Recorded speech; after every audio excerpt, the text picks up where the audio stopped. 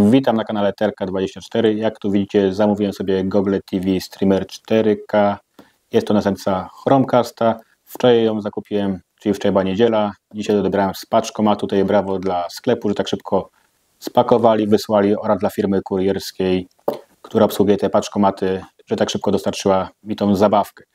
Jeśli chodzi o cenę, to według mnie troszeczkę jest ta cena troszeczkę za duża. W przeliczeniu euro na złotówki powinien być około 100 zł mniej, ale nie będziemy się zajmowali, jeśli chodzi o ocenę, tylko po prostu dzisiaj pokażę, jak wygląda ta zabawka, pilot oraz to samo urządzenie.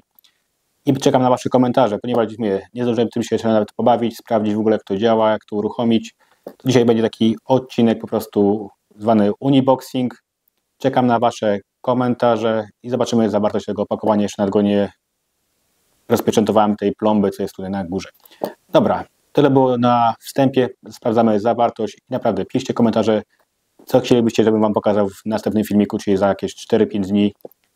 Mam nadzieję, że przy tyle zdążę go dość w miarę przetestować. Tak się prezentuje opakowanie z bliska. Jak widzicie, tutaj w transporcie troszkę zostało już pokiereszowane.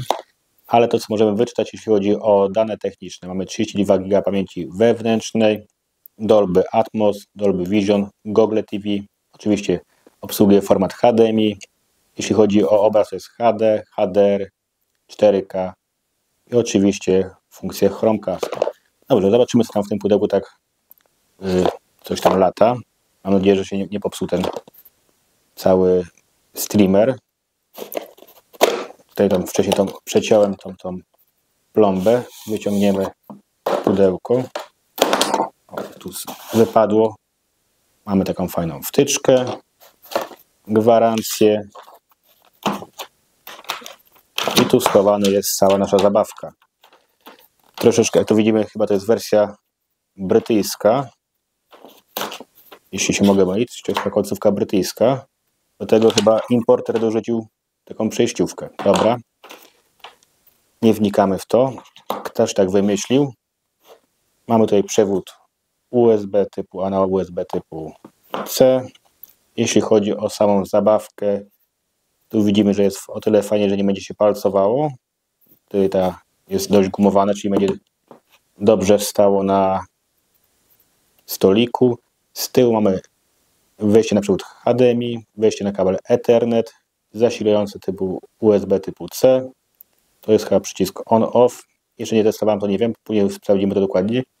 Żeby nie był sobą, brakuje według mnie tu jakiegoś USB typu A albo drugiego USB typu C, żebym mógł sobie podłączyć pamięć zewnętrzną. Wiem, że mogę podłączyć pewnie sobie pod USB typu C jakiegoś huba, który ma dodatkowe wyjścia USB, żebym mógł yy, podłączyć nie wiem, pendrive'a.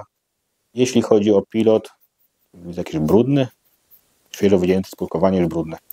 Dobra, mamy tutaj przyciski YouTube oraz Netflix jakiś przycisk prawdopodobnie ulubione, wyłączenie. Jeśli chodzi o same klikalność tych przycisków, są dość ciche, to mi się podoba.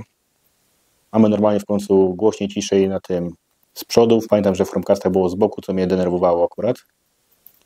Pilot dość dobrze leży w ręku. Mamy tu też baterię oraz tą chyba brytyjską przejściówkę, jeśli chodzi o zasilanie. Mogę się mylić, nie byłem w Wielkiej Brytanii, ale tak kojarzę z filmów, tak wyglądają przewody. Dobrze, zaraz to podłączę do prądu, sobie będę się tym bawił przez 2-3 dni. Zrobię wtedy po prostu recenzję tego y, Google TV Streamera. Piszcie raz, jeszcze raz w komentarzach, co byście chcieli zobaczyć y, podczas testu tego urządzenia. Dajcie łapkę w górę, subskrybujcie kanał, żeby po prostu nie przegapić recenzji mojej na temat tego urządzenia. Nie wiem, czy to Wam zakryłem. Powinienem Wam to pokazać. Jak Wam to się w ogóle podoba? Dość ładne. No wiadomo, muszę pomalować, że mi czegoś brakuje. Dobra, jeszcze raz. Proszę o komentarze. Trzymajcie się. To było na, na tyle. Spotykamy się za kilka dni na recenzję tego urządzenia.